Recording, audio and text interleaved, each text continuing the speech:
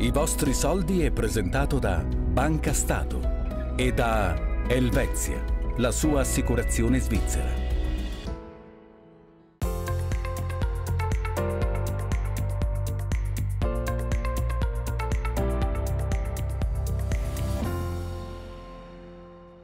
Una cordiale buonasera, bentrovati ai vostri soldi, puntata quella odierna dedicata alle piccole e medie imprese che sempre più spesso si vedono confrontate con i cosiddetti attacchi cibernetici, insomma attacchi informatici. Ecco, che cosa significa per un'azienda gestire questi tipi di rischi? Ne parliamo con il nostro ospite, ma prima sentiamo insieme questa testimonianza.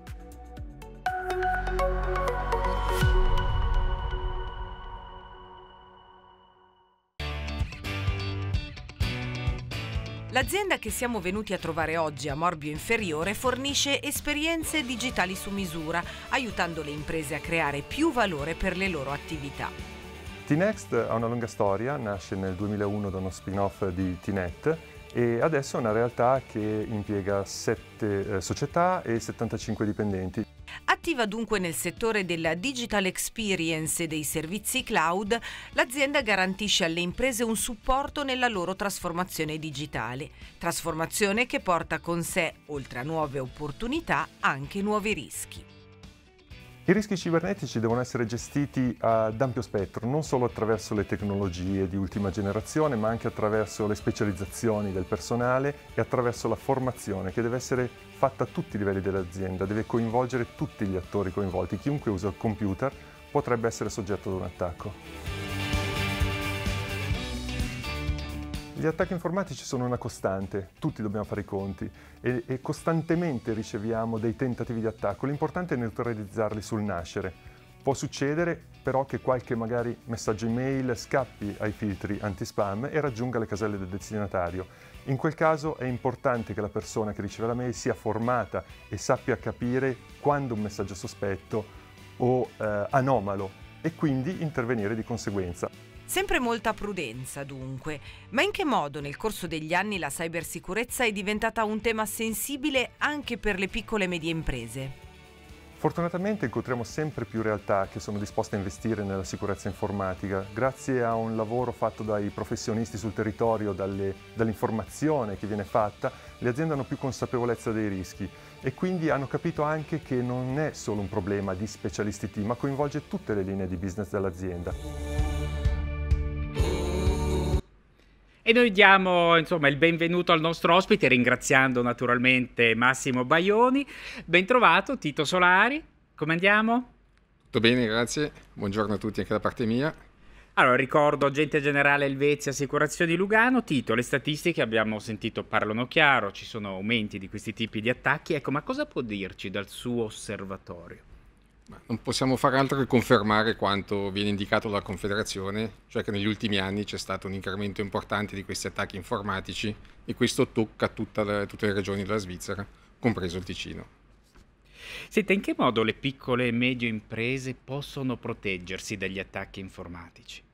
La cybersicurezza dovrebbe essere organizzata secondo tre misure. Sono delle misure a livello tecnico, cioè implementare degli antivirus, mettere sistemi di backup, dei sistemi di firewall, dei filtri d'entrata, delle misure organizzative, cioè dare delle direttive, sensibilizzare i, i collaboratori sull'utilizzo dei sistemi informatici e visto che queste misure limitano i rischi ma non li possono escludere, in complemento c'è un'assicurazione per i rischi cyber. E arriviamo proprio lì. Che cos'è questo tipo di assicurazione? Viene chiamata cyber assicurazione, corretto? Esattamente.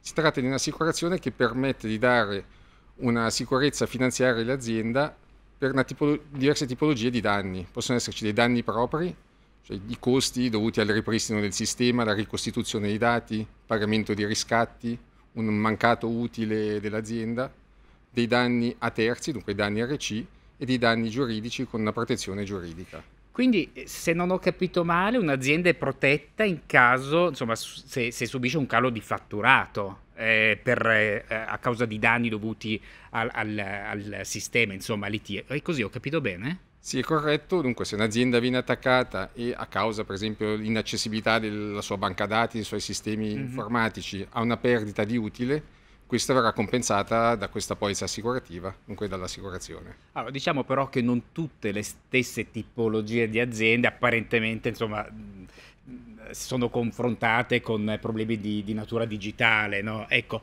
eh, il caso per esempio di una società edile. Ecco. Il suo punto di vista, il suo consiglio qual è? Ma anche ci sono diverse aziende, non tutte sono esposte mm. a questi rischi in modo analogo. Pensiamo a una società edile, una società informatica, non hanno la stessa certo. sensibilità a questi aspetti. Però va ricordato che oggigiorno anche una ditta edile utilizza dei mezzi informatici, utilizza la comunicazione informatica, dunque la gestione dello stock, le email, le fatture, la contabilità. E dunque un attacco informatico può toccare anche una ditta edile con conseguenze finanziarie importanti. Allora, diciamo che un attacco informatico ecco, può generare effettivamente dei grossi problemi alle, alle piccole e medie imprese. Che consiglio si sente di, di, dare ai telespettatori, insomma, finché soprattutto anche i loro sistemi IT siano davvero eh, insomma, performanti ed evitino poi i problemi? Il primo forse è quello di non sottovalutare questi rischi, sono dei rischi molto importanti e in crescita secondo è quello di verificare la propria sicurezza informatica su questi tre livelli che citavo prima, dunque misure tecniche organizzative, il complemento a una polizza assicurativa per questi rischi e in ultimo quello di affidarsi dei professionisti, non solo dal punto di vista assicurativo ma anche quello informatico prevenire meglio che curare. È proprio così. Grazie mille Tito Solari per essere tornato a trovarci. Se sull'argomento, eh, ve lo ricordo sempre, avete delle domande, beh, la la conoscete, i vostri soldi, chiocciolateleticino.ch. Settimana prossima continuiamo a parlare di assicurazioni per i giovani. Intanto vi ringrazio per averci seguito e vi auguro una buona continuazione di serata. Arrivederci.